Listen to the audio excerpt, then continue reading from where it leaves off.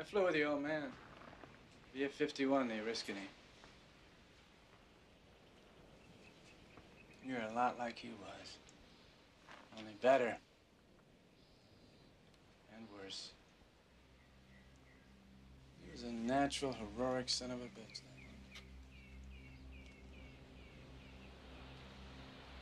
So he did do it right.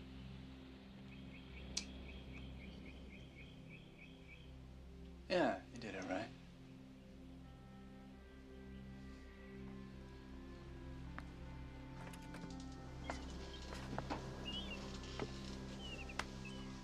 Is that why you fly the way you do? Trying to prove something? Yeah, your old man did it right.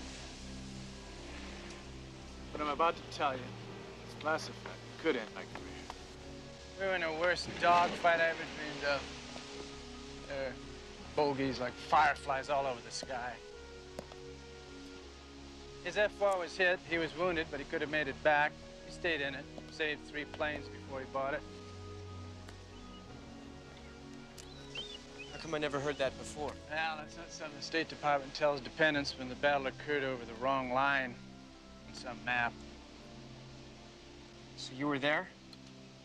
I was there. What's on your mind? My options, sir. Simple. First, you've acquired enough points to show up tomorrow and graduate with your Top Gun class. Or you can quit. There'd be no disgrace. That spin was hell. It would have shook me up. So you think I should quit? I didn't say that.